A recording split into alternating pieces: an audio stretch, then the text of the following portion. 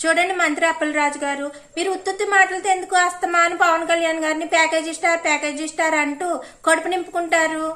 దేనికన్నా ప్రూఫ్స్ కావాలి. ప్రూఫ్ చూపించండి. ఇప్పుడు సపోజ్ మేము ఉన్నాము మీకు ఏదన్నా మాట్లాడేమంటే ప్రూఫ్ చూపించకపోతే మీరు ఊరుకోరు కదా? సపోజ్ రాష్ట్ర ప్రభుత్వం ఆరు లక్షల కోట్ల అప్పు తీసుకొచ్చింది తొమ్మిది రూపాయలు వడ్డీ అంది ఫోన్లే తగ్గించి ఏడు రూపాయలు వేసుకుని లెక్కెడదాం. సంవత్సరానికి ఎంత నలభై రెండు వేల కోట్లు. నెలకెంత? మూడు వేల ఐదు వందల కోట్లు. రోజుకెంత? నూట పదహారు కోట్లు వడ్డీ కడుతున్నాం. ఇదంతా ప్రజల సొమ్మే కదా. మనకి రాష్ట్ర ప్రభుత్వానికి ఇన్కమ్ ఏమీ లేనప్పుడు ప్రజల నెత్తి మీద భారమే కదా. ఇప్పుడు అసలు అలాగే ఉండగానే రోజుకు నూట పదహారు కోట్ల రూపాయలు ప్రజలు అప్పు కడుతున్నారు. వడ్డీ. వాళ్ళకి ఏం కర్మండి ఇది? పోనీ సగటు మనిషికి రోజుకి ఇరవై మూడు రూపాయలు పడుతుంది. అంటే నెలకు ఆరు వందల తొంభై రూపాయలు పడుతుంది. అంటే సంవత్సరానికి ఎనిమిది వేల రెండు వందల ఎనభై రూపాయలు ఒక మనిషి మీరు తెచ్చిన ఆరు లక్షల కోట్ల రూపాయలకు వడ్డీ కడుతున్నాడు. ఒక ఇంట్లో నలుగురు ఉన్నారు అనుకుందాం ముప్పై మూడు వేల నూట ఇరవై రూపాయలు వడ్డీ కట్టాల్సి వస్తుంది ఆ కుటుంబం.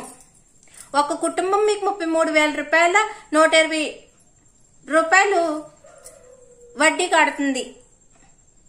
మరి పింఛన్లు తీసేసిన వారు మీ వల్ల ఏ ఉపయోగం ఉందని నెలకు ఆరు వందల తొంభై రూపాయలు వాళ్ళు కట్టవలసి వస్తుంది భారం. నిరుద్యోగ యువతకి మీరు ఏ ఫెసిలిటీ ఇచ్చారని ఆరు వందల తొంభై రూపాయలు ఒక నిరుద్యోగ యువత నెత్తి మీద పడుతుంది భారం. ఇవన్నీ ఆలోచించండి ముందు.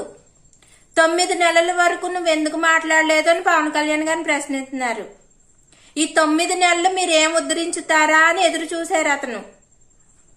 మీరు పెద్దగాడి పళ్ళు తోముతున్నారని ఇప్పుడే కదా తెలిసింది. అందుకే ప్రశ్నించారు. కనీసం ఇది కూడా అర్థం కాని మీకు మంత్రి పదవి ఎవరిచ్చారండి? ప్రూఫ్స్ అంటే ఇలా ఉండాలి.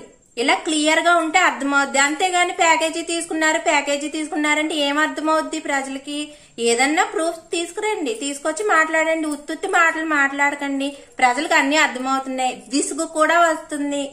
మీరు తప్పించుకుంటానికి మాట్లాడే మాటలనే అర్థమవుతున్నాయి. కాబట్టి దేనికైనా ప్రూఫ్ చాలా ఇంపార్టెంట్ జై జనసేన జై హింద్. ఈ వీడియో కనుక మీకు నచ్చినట్లయితే లైక్ చేయండి షేర్ చేయండి సబ్స్క్రైబ్ కండి. చూస్తూనే ఉండండి వన్ వెన్యూ